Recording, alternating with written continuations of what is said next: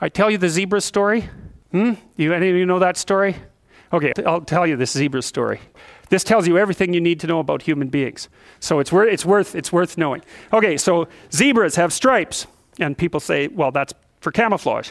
And then you think about that for two seconds and you think, that's a really stupid theory because lions are camouflaged and they're like golden like the grass. And zebras are black and white. So you can see a zebra five miles away. It's like there's a zebra, it's black and white. So the whole camouflage thing, that's just not working out so well as a hypothesis. Okay, so bio biologists go and they decide to take a look at some zebras. And so they're looking at a zebra at, on the herd because there's no zebra, right? Just like there's no fish. There are schools of fish and there are herds of zebras. There isn't a fish. Zebras are the same thing. There, there's not a zebra, there's zebras. And so you're looking at the zebras, trying to study a zebra, and you look at the zebra and you make some notes and you look up and you think, oh, Christ, which zebra was I looking at? And the answer to that is you don't know because the, the camouflage is against the herd and the black and white stripes. There's a variety of reasons for the stripes. Flies also seem not to like the stripes, but you know, usually people things evolve for multiple reasons. But anyways, it's very difficult to parse out a zebra against the herd. You look down, you look up, it's like, uh-oh, all those damn zebras look the same. Yes, the camouflage is effective, but it's against the herd. All right. So then you think, well, we better identify a zebra so we can see what he's up to. So then you take your Jeep and a can of red paint and a stick with a rag on the end of it, and you drive up to the zebras and you paint their haunch red a little bit. Put a nice red dot on their haunch, or maybe clip their ear with a cattle clip. And then you, you know, you stand back and you think, hey, I'm pretty smart. Now I'm going to watch that zebra. So what do you think happens to the zebra? The lions kill it. Right, right, right. Because lions, they're smart, right? Hunter, hunting animals are smart.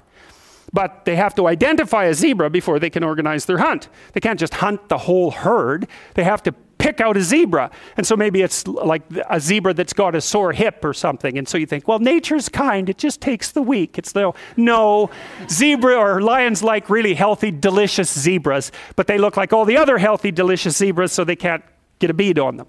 But if they're small and just born, or if they're limping, or there's something that identifies them, then the lions can pick them out. And then they do pick them out. And so the rule for human beings is keep your damn stripes on so the lions don't get you. And I'm telling you, man, if you want to remember one thing from my class about human motivation, that's a good thing to learn. People camouflage themselves against the herd, and they like to be in the middle of the herd, which is what fish do, by the way. If you have a big school of fish, the smart, healthy, large fish are in the middle of the school. Because you, know what you call fish on the outside of the school? Bait. Right. So, that's what people are doing. They're trying to move into the middle of the herd all the time. And the herd moves around, or the school moves around, and people are going, Well, I'm in the middle. I'm staying in the middle here. So I've got this protective ring of people around me so the predators don't pick me out and do me in. So, you know, you're thinking, well, people are aiming at success. Don't, don't be thinking that.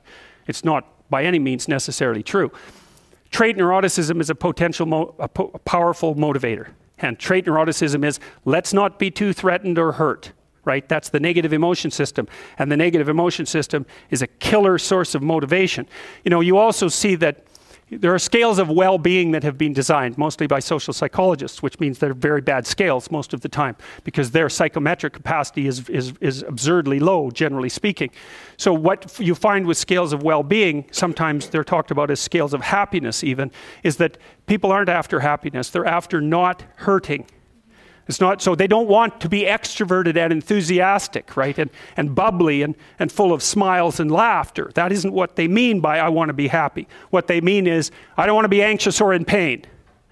And so well being scales tend to be something like emotional stability plus extroversion. But the big loading is on emotional stability, the reverse of neuroticism. You want to avoid suffering. You don't want to be happy. You want to avoid suffering.